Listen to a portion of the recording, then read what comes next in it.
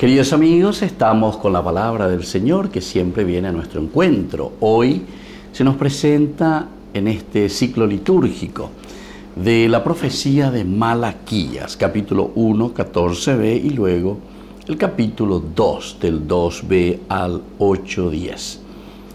Yo soy un gran rey, dice el Señor de los ejércitos, y mi nombre es temible entre las naciones. Y ahora para ustedes es esta advertencia, sacerdotes. Si no escuchan y no se deciden a dar gloria a mi nombre, dice el Señor de los ejércitos, yo enviaré sobre ustedes la maldición.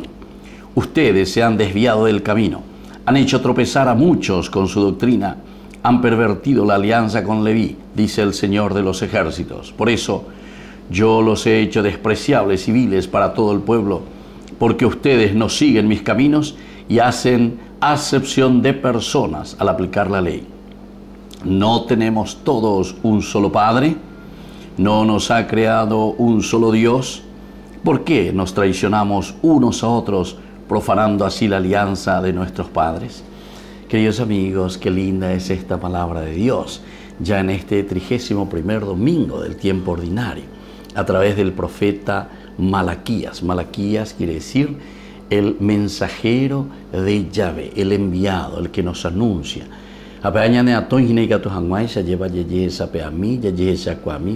¿Qué actitudes nosotros tenemos con respecto a nuestra comunidad, con respecto a nuestros hermanos? Sobre todo como termina con estas preguntas que son preguntas retóricas ciertamente, porque ñandeñame ala ñande respuesta ñande yárame. ¿Por qué nos traicionamos unos a otros, profanando así la alianza de nuestros padres? Upea y queridos hermanos, cuando dejamos a tantos niños en la calle, a tantos indígenas sin la posibilidad de vivir una vida digna, a tantos campesinos sin tierra, a tantas injusticias, en fin, tantas cosas negativas que no tendrían que ser así porque nosotros hoy somos los responsables en la construcción del reino de Dios. Malaquías, el mensajero del Señor, nos vuelve a anunciar y nos vuelve a decir, respóndanme PMMI debe tener respuesta a estas preguntas que yo les estoy haciendo. ¿Por qué verdaderamente nosotros nos vamos contra Dios, yéndonos justamente contra nuestros hermanos?